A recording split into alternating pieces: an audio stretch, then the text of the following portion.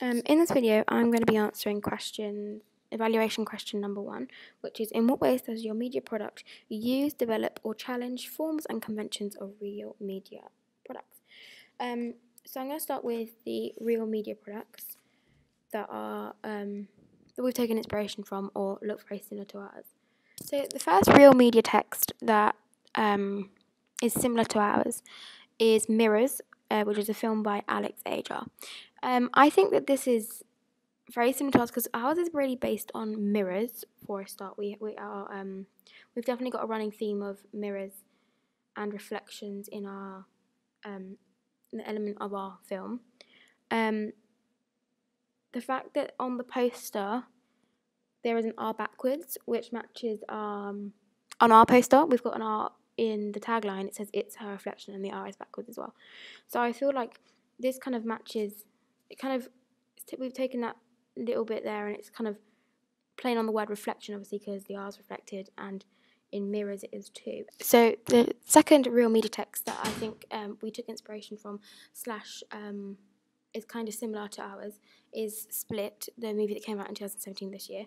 Uh, it stars James McAvoy as the lead character, and uh, like ours, it's a psychological horror thriller type thing. Um, ours is obviously psychological horror, and I think this is a psychological horror thriller. Um, and again, it links to our magazine this time because um, of the it's got cracks and like like on Sydney's face in um, on our magazine, and also the writing. The film title is um, distorted, like ours is. Ours is kind of blurred, um, and theirs is um, split into different into three different sections. Another one is actually um, mirrors too, um, because on the poster it's got um, a face and then some lots of shattered glass, and on our poster it has that as well. Um, we've really played um, on the theme of reflection, shattering, cracking, fractured, as it were, because I think it really fits with our theme and the um, kind of storyline of our trailer and movie. The last real media text that I'm going to talk about is Final Destination. Um, it really links to ours because it's got shattered glass and um, the face in the shattered glass, like our one does, with Sydney. Um, although on their poster it looks like they kind of have included the villain a bit, and on ours we haven't. Um, we have a little bit, but we didn't want to give away who the villain was because we're meant to be twisting the minds of the audience. Um, so yeah, we, we put that kind of very faded, faded into the background, whereas they've kind of included the skull and bones. Um, but we have also we've put the um, main character into the glass and then shattered it, and then put the rest of the characters in there as well. So now I'm going to talk about the conventions of um, that we've included into our poster, our trailer, and our magazine. So first off, we're going to start with mise en scène. We have filmed our um, trailer in a house, in a domestic setting, which is a very common convention of horror because at home you're meant to feel safe, and if someone intrudes your safe space, then you know it's very dangerous and kind of gives it gives a scare element and a, it relates to the audience. Um, so we also filmed scenes at night because the dark kind of plays on the the theory of the unknown and the fact that people don't can't really see in the dark and therefore they're they're scared because of that. So we filmed it at night. We've got some scenes at night, some scenes during the day. Um, we've also used lighting to create a shadowy effect. We have in our trailer someone walking across the landing in a dark against a dark like a, a, light background so you can only see a shadow. And we've done this to create shadow effect as if the villain is there but you don't you don't see the face because you don't know who it is. Um, so then we're going to move on to camera work and editing. We um, have used a lot of cross cutting so a lot of one shot two shot for like a couple seconds and then quickly change. Um, and we use this to create suspense especially towards the end in the action scene because we wanted to create a climax to when there is silence and then the jump scare. Um, we've also got faster cutting, so it'll be very short, very short shots. Um, moving on to again the ending, the action scene. We have um, one or two point of view shots um, where the um, arms are cut. We really thought we wanted to put the audience into that character's shoes and to feel like if you woke up with sudden scratches on your arms, how would you feel? We have in our trailer, we haven't really got party and drug focused teenagers. I mean, they do have a sleepover in the trailer, but they're not like there with alcohol or anything. It's just like playing. It's like a sleepover, a girly sleepover. Um, they are innocent girls, so we've played on. We've used that. Um, the vic. Well, you don't really know as it's a trailer. You don't really know if the victim becomes a hero. So that would be an unknown for the audience. They wouldn't know if the victim becomes a hero unless they actually went to watch the real movie. Um, we've used monsters. We've used um, a, like it's, it's a kind of like a. There's kind of two monsters. There's Sydney who plays the actual person doing the killing and, and the the supernatural stuff, and then there's the false villain, which is the spirit, with um, which the girls think is causing all the um, weirdness and things happening around the house, but it's actually Sydney. Final girl, our final girl is Animal, so we've used that theory as well. Um, we haven't used any adults in our in our trailer. Music and sound, we've used crashes, so when the glass break glass breaks, we use a sound effect on that to make it sound like it was breaking on the floor loudly. We have got a lot of screaming in our trailer, um, either shouting names or actually screaming. Um, we've got we've got mainly voiceovers. There's not a lot of dialogue in our in our trailer per se. It's a lot of voiceovers, so you don't actually see them speaking, but you hear them. Um, and we've also got music, which is um, in my post just like old times. Research into and use of music. Icons. We've used blood um, slash gore in our trailer because our horror villain has got F- SFX makeup on to make her look inhumane and um, kind of monster like, um, which also includes blood, which was on the knife. Again, we've used shadows, darkness. Deformities is Sydney make, Sydney's makeup, um, and in the trailer you don't really see because obviously a tra- you don't want to give a trailer too much away, but Smear's character does die, so there's death. So um, there's not a lot of narrative and narratives um, slash issues like themes emerging in the trailer because you don't want to give too much away. So um, for narrative structure, we didn't have any background information. We had a little bit, but only what the doctor said and what the audience hears. You don't want to give a lot away because it's a trailer and you want them to go watch the movie. So we didn't really include a lot of um, background information in that sense. Um, it does conform to Todorov's theory of basic narratives because it starts off with an equilibrium, which is the calm beginning, um, and then things start to go wrong, which is the disruption, and then obviously trying, and then they realize that the the problem is Sydney, um, and you see Animal with a knife and blood and stuff like that, and but you never see the the end bit because obviously it's a trailer. You don't want to you don't see the resolute. You don't want to see the the new equilibrium because that would give it away. We do see Levi Strauss as binary opposites. Although we've used all girls, so there's not male and female, we have used good and evil um, to distinguish between Sydney, the spirit, and the two sisters, Brooke and Cecilia.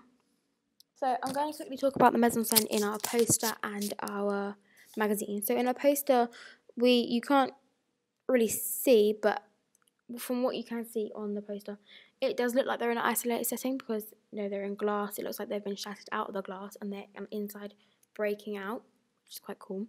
Um, there's a dark atmosphere on the because it's very got a dark background. Um,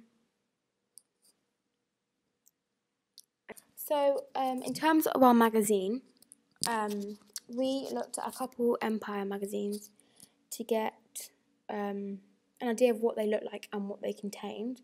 Um, so at the top, we had the Empire logo. We changed the colour of this to match our film text colour. So we had the um, colour, similar colour all over.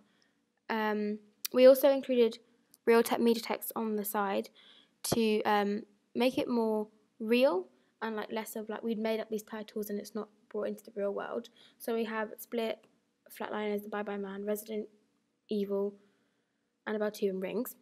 We um, so we took all this from other Empire magazines, and where they typically had um, lists of horror films that you needed to see, or and then we had our title at the bottom in big font because that's what we saw in a lot of other Empire magazines. Um, we also included the date up top with the US price in dollars and the UK price in pounds because that they that was on all of the um, Empire magazines. We also gave the audience um, a little taster and a little kind of play on words um, with our film title, where it says Sydney Head gives a shattering performance in Fractured Illusion. So shattering was a play on words, um, and we gave them a little bit of information, just generally on this kind of year of horror.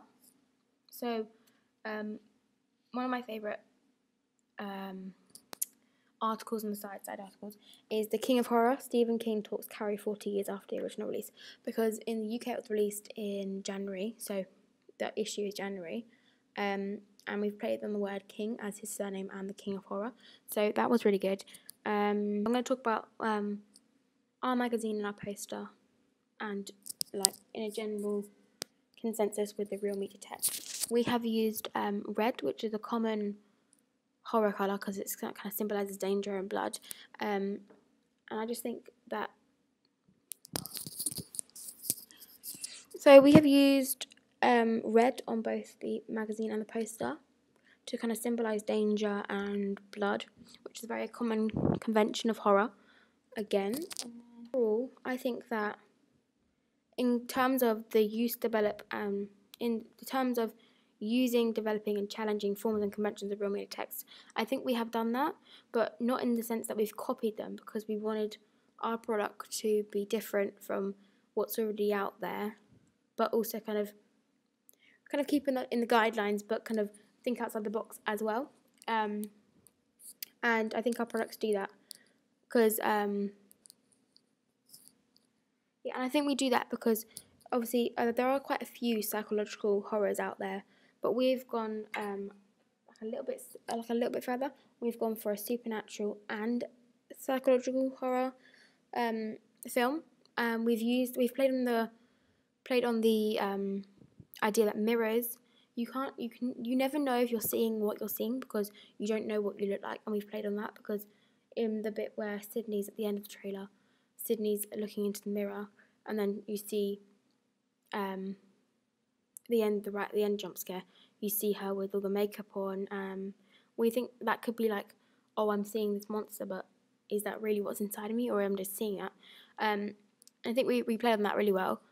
Uh, yeah, um, and I like like I say we had elements of the real media texts that I mentioned earlier on, but we didn't actually copy them. They're not exactly the same. They're not like very they're very similar, but like not the same and I think we did we used we've made it our own. Our all our three of our horror products we've made our own, um, because there's not anything really like it in the industry at the moment, and that's kind of why we wanted to put the different articles and real media text on the side of our magazine and yeah, magazine because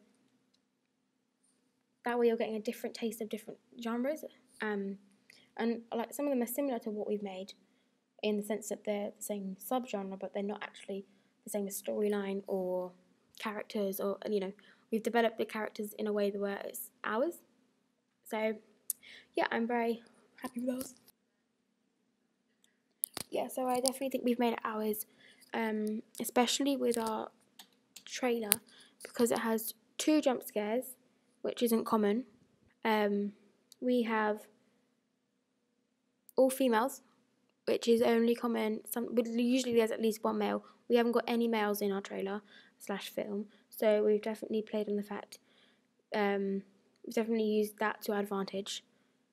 So yeah. Um. So yeah. Um, if we made it 100% the same as everything else in the horror genre, people, the audience would get bored of um, going and watching horror films. Like you want to keep the, the audience on their toes um, you want them to be slightly confused right up until the end where they're like, oh my god, that shocked me. I don't get, like, I want them to be mind blown. Um, and I think that that happens with our trailer. Um, and we want them to go watch our film, as it were, because that's the aim of a trailer, to go make the audience watch the film. So, yeah.